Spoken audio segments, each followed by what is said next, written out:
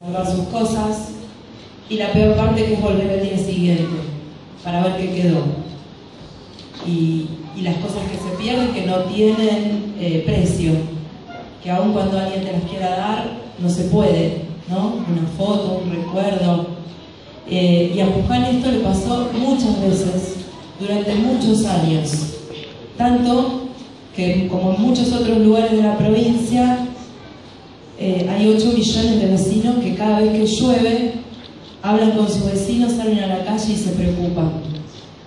Y, y tienen compuertas en las puertas de su casa, construidas con material, y arman sistemas solidarios entre ellos para ayudarse y para saber cuándo salir o cómo quedarse a cuidar las cosas, para que nadie las robe. Esto pasa y pasa desde hace muchos años. Y es cierto que no se puede resolver de un día para el otro, pero algún día hay que empezar. Y a lo mejor no lo ve un gobierno, probablemente no se vea en un gobierno y no sean cintas para cortar, pero es importante dar el primer paso. Y hoy estas 30 viviendas son el primer paso.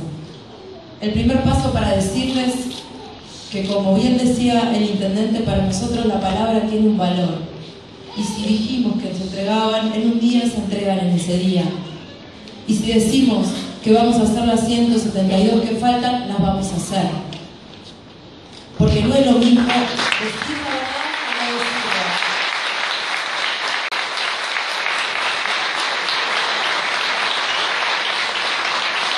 Y que también cuando no podamos, le vamos a decir no vamos a poder.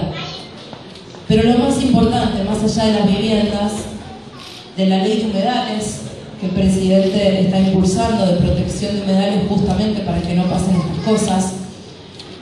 Más allá de todo lo que nosotros y ustedes hacemos todos los días, hay que resolver el problema de fondo, que es el problema de la obra, y que ustedes saben que no se resuelve con desvanezamiento o con limpieza, que es una obra hidráulica. Bueno, justo ayer al mediodía terminó una primera etapa que empezó antes de que yo asumiera como gobernadora. Cuando ya había ganado la elección, hicimos una reunión con la Corporación Andina de Fomento, todavía no había asumido, para pedir créditos de obras para la provincia y le dijimos que la primera prioridad era la cuenca del Luján.